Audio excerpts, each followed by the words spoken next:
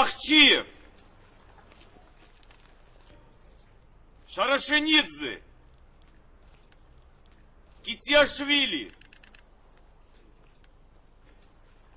Мамедов! Чубинидзе! 1920 წლის გაზაფხულზე სერგო ორჯონიკიძე ბაქოში ფიცის მიღების ცერემონიალს ესწრებოდა. მუსაშვილი! მე-11 წითელი არმია ნიშნულოვან შევსებას იღებდა. ჩინჩარაული! ორჯონიკიძე, რომელიც ბოლშევიკური პარტიის კავკასიის ბიუროს ხელმძღვანელობდა, კარგ ხასიათზე იყო. ახალი პოლკი სწორედ სერგოს ინიციატივით შეიქმნა. პოლკის შემოადგენლობაში უმთავრესად ქართველი ბოლშევიკები შედიოდნენ. შენაერთი კომუნისტურ სამხედრო ფიცს საქართველოს დამოუკიდებლობის დღეს отстаивкс майстепта. Мы даем слово! Мы даем слово! Что грудью защитим! Что грудью защитим! Дело освобождения! Дело освобождения! Рабочих и крестьян! Рабочих и крестьян! Вместе с доблестной! Вместе с доблестной! Красной армией! Красной армией! Мы разобьем! Мы разобьем! Рабочего класса! Кандалы рабочего класса! Мы выхватим! И выхватим! Наших братьев! Наших братьев! Закавказских рабочих! Закавказских рабочих! И крестьян! И крестьян! Из рабства! Из рабства! Меньшевиков и буржуазии! Меньшевиков и буржуазии! Да здравствует советская Грузия! Да здравствует советское Закавказье! Да здравствует коммунизм!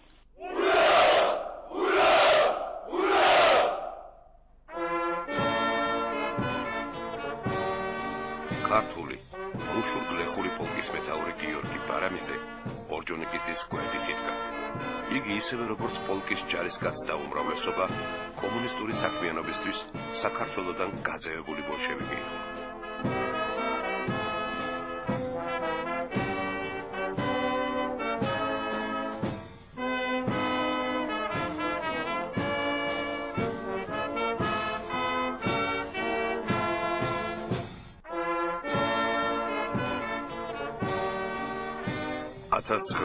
წელს ბოლშევიკურმა რუსეთმა ამიერკავკასიაში სამხედრო ინტერვენცია დაიწყო. 28 აპრილს წითელი ნაწილები ბაქოში შევიდნენ. აზერბაიჯანში კომუნისტური რეჟიმი დამყარდა. სერგო ორჯონიკიძე, რომელიც მე-11 არმიის ფაქტიური შემწვანელი იყო, ბოლშევიკურ გადატრიალებას საქართველოშიც გეგმავდა. 2 მაისს მე-11 არმიამ მისი ბრძანებით საქართველოს წინააღმდეგ საბრძოლო მოქმედებები დაიწყო.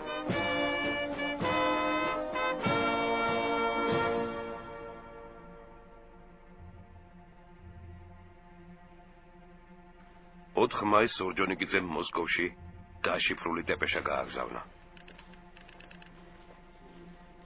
записывай. Москва, Кремль, Сталину, Ленину. მოსკოვი, კრემლი, ლენინს, სტალინს, ბაქო, 1920 წელი. 4 მაისი.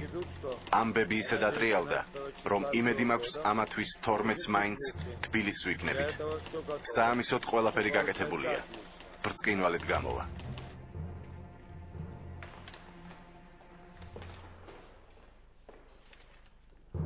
ორჯონიკიძის ენთუზიაზმი კრემმა არ გაიზიარა. 1920 წლის მაისში რუსეთი ერთდროულად ორ ფრონტზე იბრძოდა. ბოლშევიკებს ხილიმიდან თეთრი გენერალი ვრანგელი უტევდა, ხოლო პოლონეთის არმია კიევს უახლოვდებოდა. ასეთ ვითარებაში საქართველოს წინააღმდეგ საომარი მოქმედებების დაწყებას მოსკოვი ნაადრევად მიიჩნევდა. მით უმეტეს რომ მე-11 არმიის მოწინავე ნაწილები სასაზღვრო ბრძოლებში ქართულ შენაერთებთან დამარცხდნენ. ორჯონიკიძე მოსკოვიდან ოპერაციის შეჩერების ბრძანება მიიღო.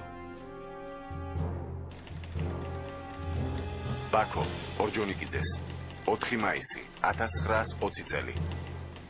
ცენტრალური კომიტეტი გავალებთ თავი შეიკავოთ საქართველოს შეტევისგან. თბილისთან მოლაპარაკების შემდეგ ცხადია, რომ ზავი საქართველოსთან გამორიცხული არ არის. ცენტრალური კომიტეტის პოლიტბიუროს დავალებით ლენინი, სტალინი.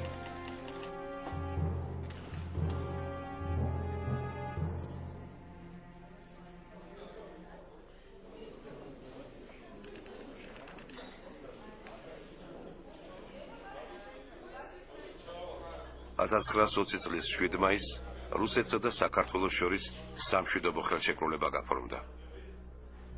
ამ ხელშეკრულებით რუსეთი საქართველოს დამოუკიდებლობას აღიარებდა და მის საშინაო საქმეებში ჩაურევლობის ვალდებულებას იღებდა.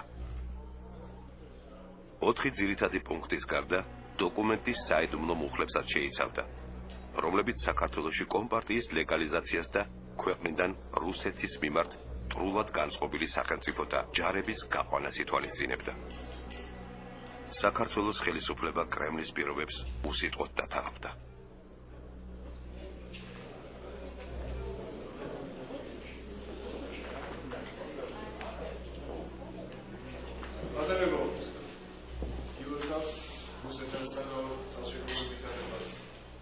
თავრობის თავმჯდომარემ ნოე ჟორდანიამ მოლაპარაკებაზე ქართული მხარის წარმომადგენელს გრიგოლ უროტაძეს მოსკოვში მისალოცი დეპეშა გაუგზავნა. გილოცავთ საზავო ხელშეკრულების დადებას. გადაეცით სოვნარკომს, რომ ზავის ამბავს ხალხი ღრმა კმაყოფილებით და აღტაცების გრძნობით შეხვდა. იმედი მაქვს, რომ ამიერიდან რუსეთსა და საქართველოს შორის მოისპობა ყველა გაუგებრობა და ორივე მოძმე ხალხი მშვიდობიანად და თანხმობით იმუშავებს ცხოვრების სოციალისტურ საფუძველზე გარდასაქმნელად. ხელშეკრულების მიუხედავად, ბოლშევიკების პოლიტიკას კავკასიაში ცვლილება არ განოცდია. საქართველოს ოკუპაცია მხოლოდ დროებით გადაიდო.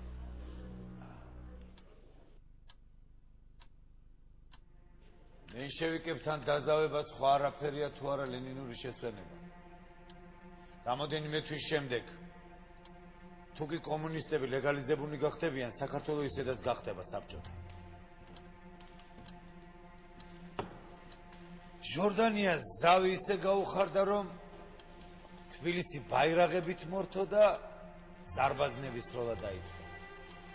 ეშინია მეშევიკები ვაჭრები არიან. ივაჭრებენ და ბოლოს მაინც აფთანხმდნენ.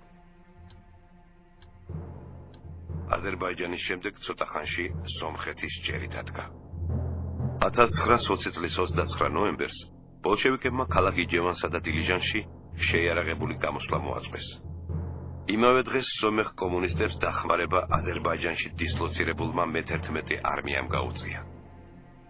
რუსებმა ერევანი სულ რამდენიმე დღეში დაიკავეს. 2 დეკემბერს სერგო ორჯონიკიძემ ლენინს აცნობა რომ სომხეთში საბჭოთა ხელისუფლება გამოცხადდა. საქართველოს კავკასიაში ერთადერთ დამოუკიდებელ სახელმწიფოდ დარჩა.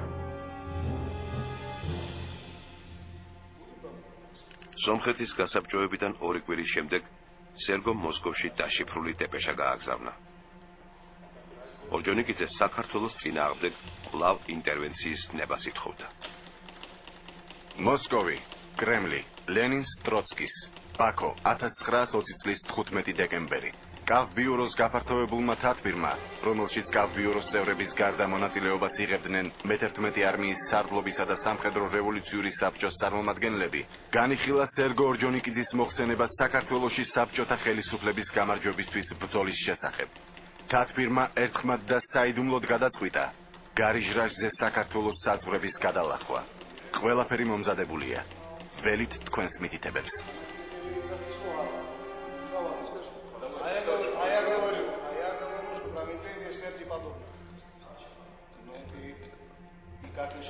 საქართველოსი შეჭრაზე ორჯონიკიძის მეორე მცდელობა მოსკოვმა კვლავ უარყო.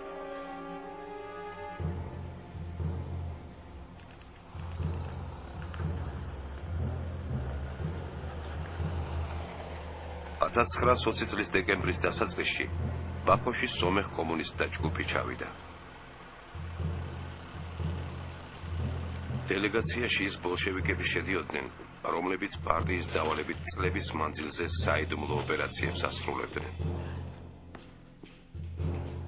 მათ შორის იყო პროფესიონალი რევოლუციონერი, ახალციხის მკვიდრი იოსებ ლაზიანი, რომელსაც ორჯონიკიძე პირადად იცნობდა. ლაზიანი ბაქოს კომუნის აქტიური მონაწილე იყო. თავის დროზე იგი ბოლშევიკთა არალეგალურ სტამბაში ასონთან წყობად მუშაობდა. ერევანში მე-11 არმიის შეცვლის შემდეგ ლაზიანი სომხეთის წითელი არმიის პოლიტგანყოფილების უფროსის მოადგილედ დაინიშნა.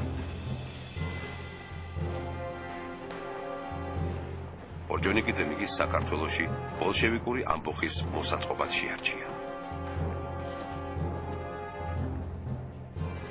კავბიუროს ხელმძღვანელის კაბინეტში სომეხ კომუნისტებთან თათბირი მიმდინარეობდა. ორჯონიკიძე ლაზიანის ჯგუფს მომავალ ამბოხებასთან დაკავშირებით ბოლო მითითებებს აძლევდა. Все поняли?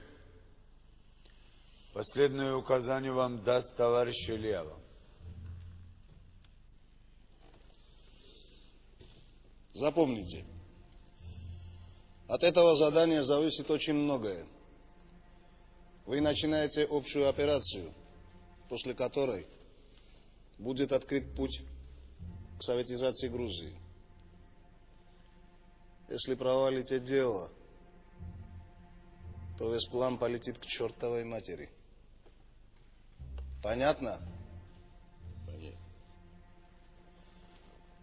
Ответственным за операцию будет первый секретарь ЦК Армении товарищ Георг Алиханян. Руководителем группы, которая будет работать на месте, назначается Йосиф Лазян. Докладывать каждый день о подготовке восстания. Никаких импровизаций. Все должно пройти по заранее согласованному плану. Итак, еще раз. Ваша задача создать группу, которая проникнет в районе Лори, подготовить местное население к восстанию и выступить в назначенный срок против меньшевиков. Главная задача – захватить стратегический мост в селе Шагал, постоянно информировать о численности и состоянии грузинских войск в Лори. Для этого выделить отдельного человека. Запомните, за невыполнение задания будете отвечать перед партией головой.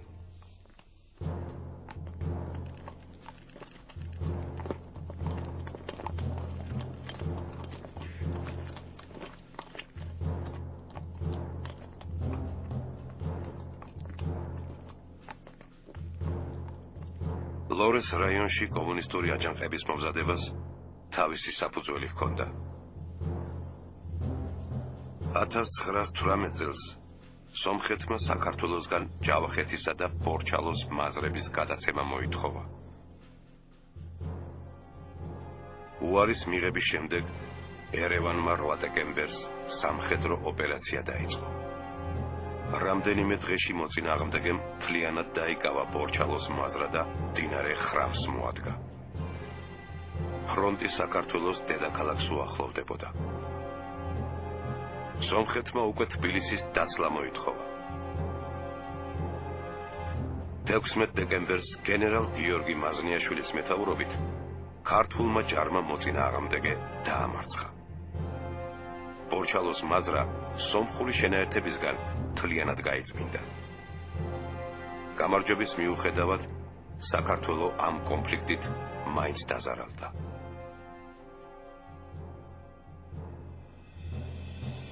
ინგლისის შუამავლობით მხარეებს შორის ძავი დაიდო. პორჩალო, რომელიც მანამდე საქართველოს ტერიტორია იყო, სადავო გახდა და იგი სამ ნაწილად გაიყო.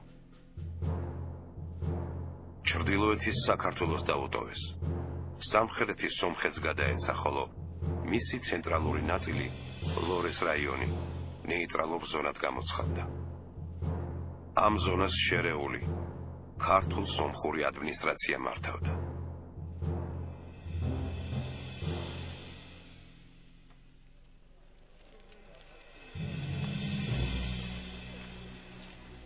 ზავის დადებიდან 2 წლის შემდეგ 1920 წლის 13 ნოემბერს საქართველოსა და სომხეთის მთავრობები შეთანხმდნენ, რომ ლორეს ნეიტრალურ ზონას დროებით სამი თვის ვადით ქართული ჯარი დაიკავებდა.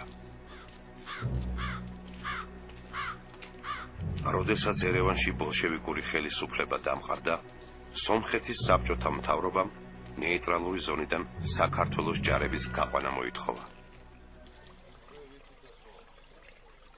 საქართველოს სომხებს მოლაპარაკება შესთავაზა, მაგრამ ეს წინადადება უპასუხოდ დარჩა. ორჯონიკიძის ვარაუდით, ლორე ბოლშევიკური აჯანყებისთვის ხელსაყრელი ადგილი იყო. რაიონში ძირითადად დუხობორი რუსები, სომხები და აზერბაიჯანელთა მცირე ნაწილი ცხოვრობდა. კომუნისტების გეგმით შრომელთა უკმაყოფილების ოფიციალური საბაბი ლორეში მდგარი ქართული შენაერთები უნდა გამხდარიყო.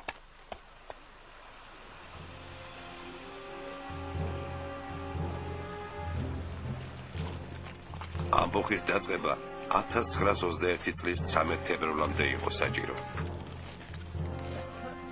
13 თებერვალს ქართულ ჯარს ლორეში ყოფნის სამთვიანი ვადა ეწურებოდა და შესაბამისად რაიონში აჯანყების მიზეზიც კლებოდა.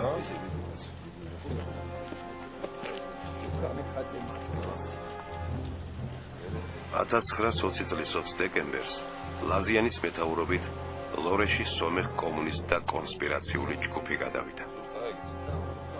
აი აი.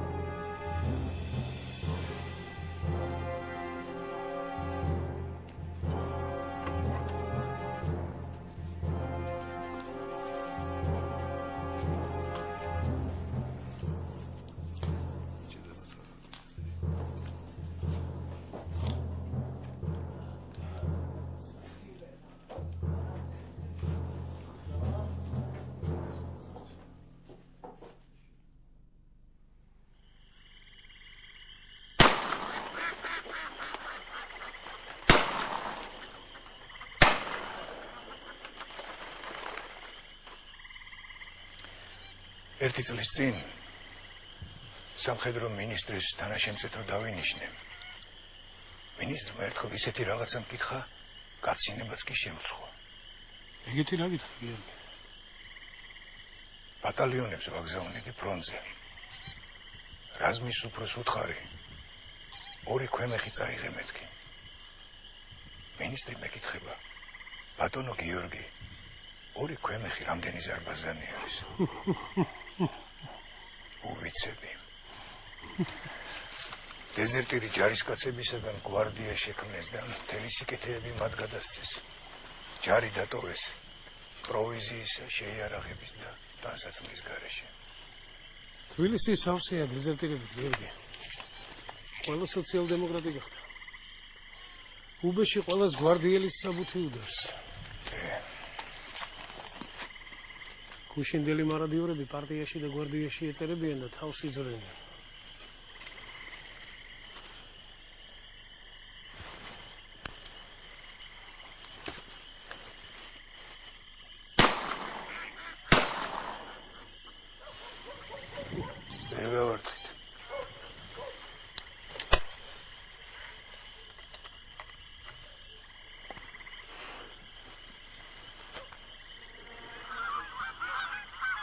სარდლად რომ დავინიშნე.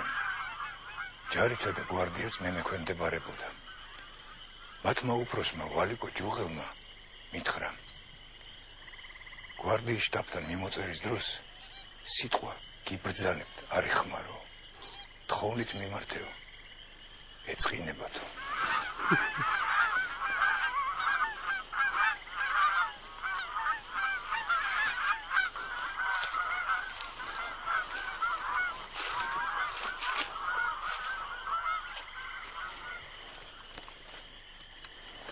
შორს არის გიორგი არის რა არ მიწდება არ მიწდება თავრობის ხდომაზე მოვითხოვე ომიანობის დროს გვარდიელთა ჯარში გაწევა მობილიზაციის წესით უნდა მოხდეს მეთქი ამაზე ჟორდანი აღშფოთდა. რატო მე როგორც მუშათა და ჯარისკაც და საბჭოს თავმჯდომარე თuliო გენერალ კვინიტაზის ჯარის მეტაურად ყოფნა შეუძლებელი არის რამე თუ მას გვარდია არ უყვარს. მაგათ ჯარისა და ოფიცრების ეშინიათ. ჯარის საომრად სჭირდებათ. გვარდია კიდე ჯარისაგან თავის დასაცავად. სომხის ბოლშევიკები ლორედან ჩვენი ჯარების გასვლას მოითხოვენ. საიდან იცი მაგათი გაზეთი ვნახე გუშინ იმუქრებია როგორ შანს ომისთვის ემზადებიან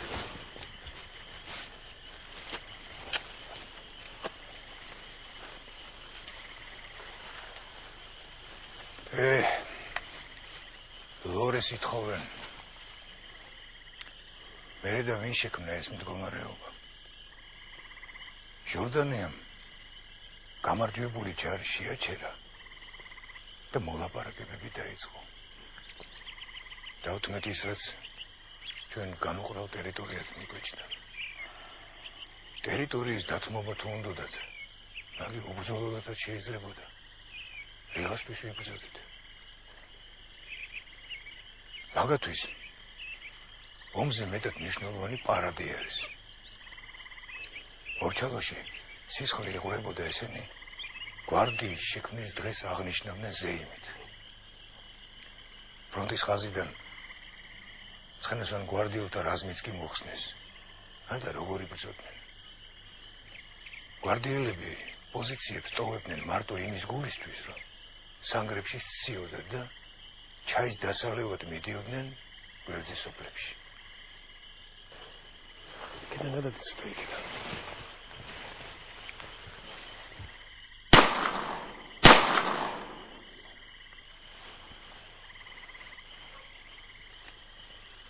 ეს ყველაფერი პირში რო უთხარი ჟორდანიას არ ესიამოვნა.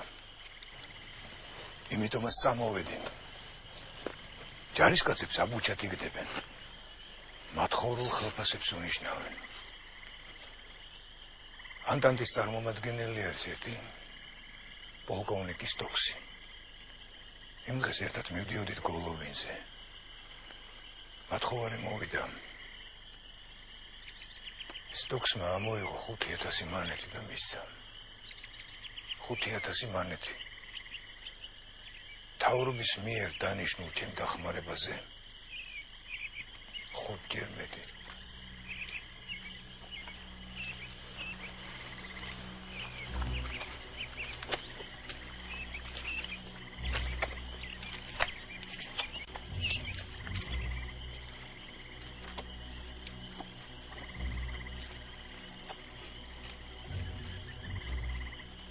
დამოუკიდებელი საქართველოს პერიოდში წარმატებული სამხედრო ოპერაციების უმეტესობა გენერალ გიორგი კვინიტაძის სახელს უკავშირდებოდა. 1919 წელს მისი მეთაურობით ქართულმა არმიამ ქვეყნის სამხრეთში ისლამური აჯანყება ჩააქრო.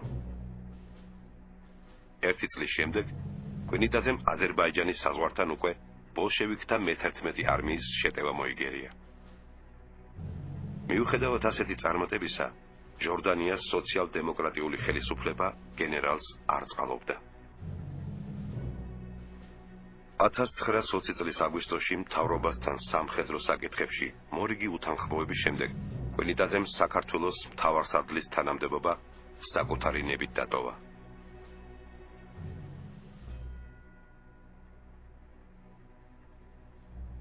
სამსახურის გარეშე დარჩენილ გენერალს დახმარების სახით თვეში 1000 სიმანეთი დაენიშნა.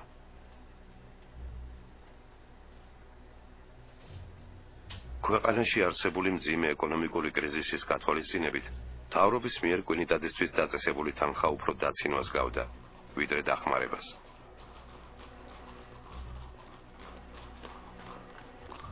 ათასცხრაასოც წელს თბილისში კირვან კაპური 750, ხოლო კილოგრამი კარაქი 4000 მანეთი ღირდა.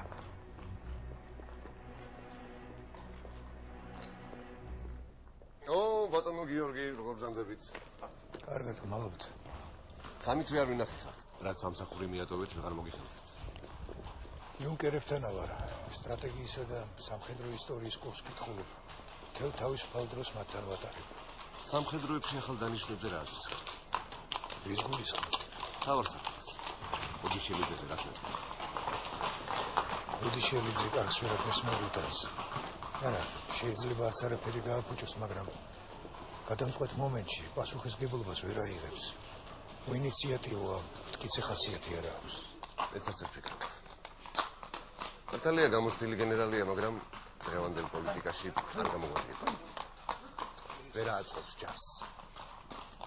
ეს თქვენი კერძო აზრია თუ დავრობა ის ასე ფიქრობ? არა, ბოლოს. აბა მთავარს არლად რაღაც ნიშნავდით. ვერც მამე არ ვიცი. ეთქობა სხვა ვერ გამოიზეკნა. იმიტომ ვარ კარგ დღეში ბატონო აკაკი. კარგად ზანდებოდეთ. კარგად ზანდებოდეთ. შემომიარეთ საღამოობით სამინისტროში ისაუბროთ. თუ მოიცლი შემოგივლით.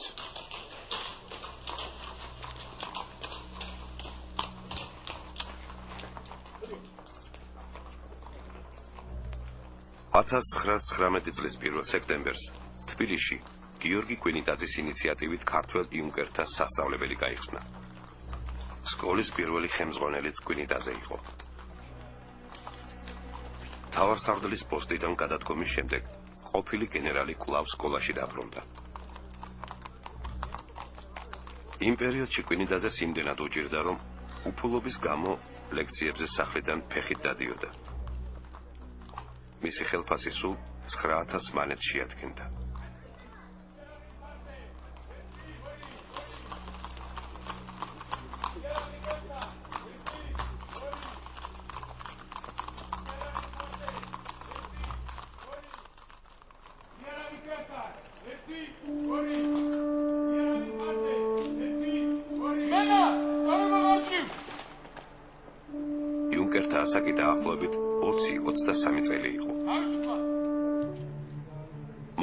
ოფიცრებს სამხედრო ისტორიას, ტოპოგრაფიას, ფორტიფიკაციას, ტაქტიკას და სხვა სამხედრო საგნებს ასწავლიდნენ.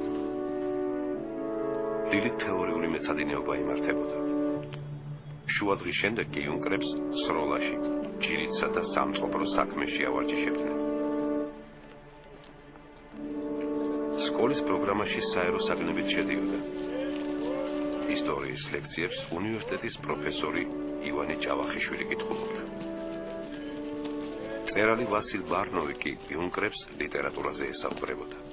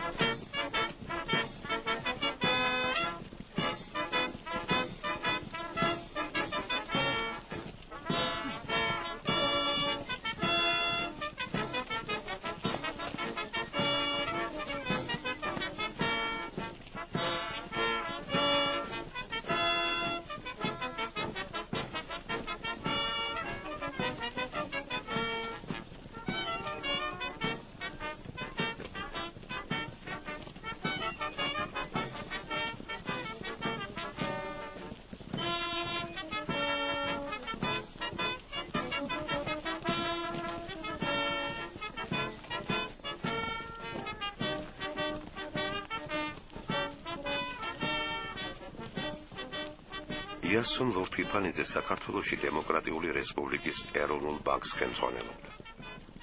თბილისში სულ 4 წლის ჩამოსული იყო. მანამდე იასონი ოჯახთან ერთად 10 წლის განმავლობაში ვლადიკავკაზში ცხოვრობდა, სადაც ადგილობრივი ბანკის მმართველი იყო. რუსეთში რევოლუციის დაწყების შემდეგ იასონო ვლადიკავკაზი მიატოვა და ოჯახთან ერთად საქართველოში ჩამოვიდა.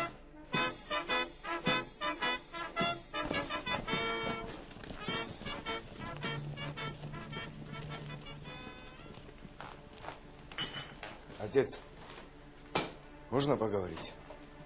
Слушаю. Я решил поступить в юнкерское училище. Экзамены уже сдал.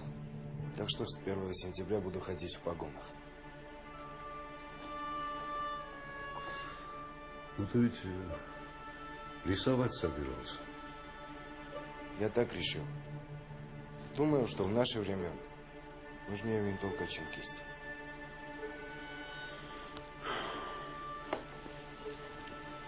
Ну что ж, сам решай. Я тебя поддержу в любом случае. 20 წლის ნიკოლოზ ლორთქიფანიძემ იუნკერთა სკოლაში შესვლა თავისი მეგობრის, ზურაბ დატიშვილის რჩევით გადაწყვიტა. მამაზე ადრე ნიკოლოზმა ამ გადაწყვეტილების შესახებ თავის საცოლის, მარიამ მენაბდეს გაუმხილა.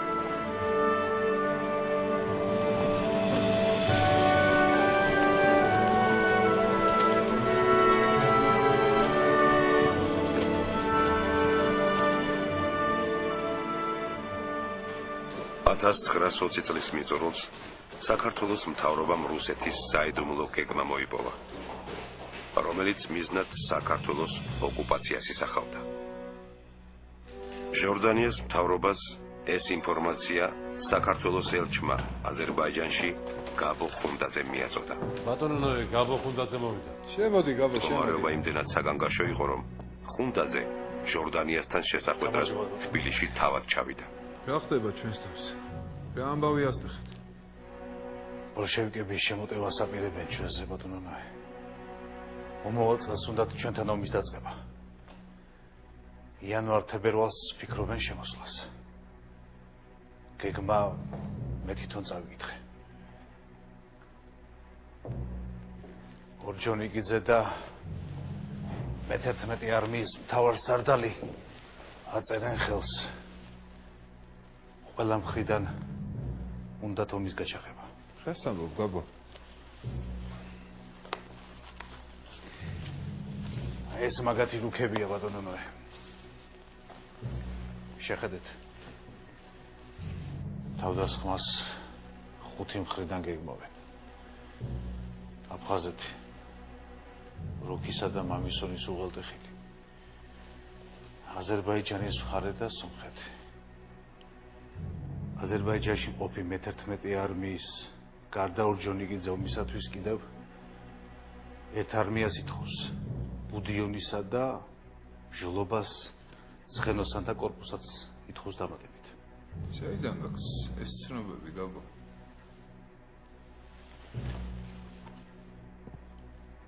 სანდოა მე ეს ყველაფერი გაბო. რუსეთთან ჩვენი წარჩხუბება ხომ არ უნდა ვინმეს?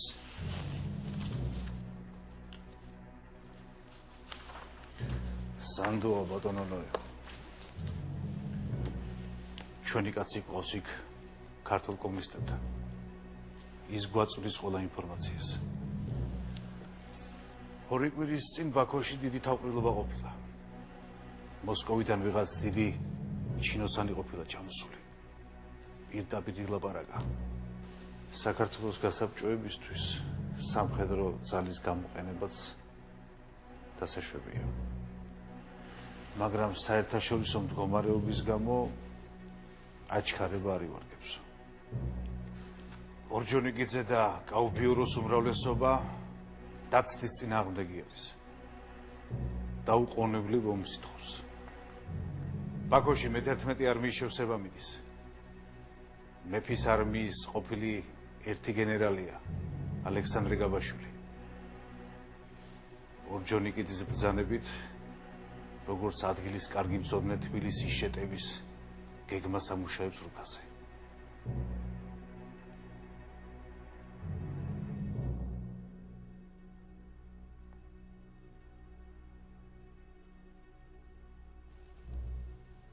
იქნებ მართალიც იყო. ამ რამდენიმე დღის წინ რუსეთის სამხედრო წარმომადგენელმა ტოლსტოიმ შეხვედრა მთხოვა საიდუმლოდ. მაგის ბინაზე შევხვდით. არ ვიცი რად მაგრამ მითხრა რომ რუსეთი თქვენს წინააღმდეგ გალაშქრებას აპირებს და თუ შეგიძლიათ რაიმე დათმობაზე წასვლაო რამისეზით უნდა დაგვესხას თავს რა უნდათ მეთქი კონკრეტულად ვერაფერი მიპასუხა მაშინ ეს პროვოკაციაც ჩავთვალე და მისი დაშინება გადავწყვიტე თუ რუსეთი თავს დაგვესხა კავკასიის მთელ ხალხში აჯანყებას გავაჩაღებ მეთქი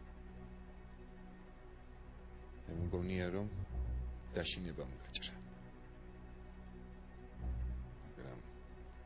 რუსეთთან მარტო ჩვენ რას გავხდებით? ხსნა ევროპაში უნდა ვეციოთ.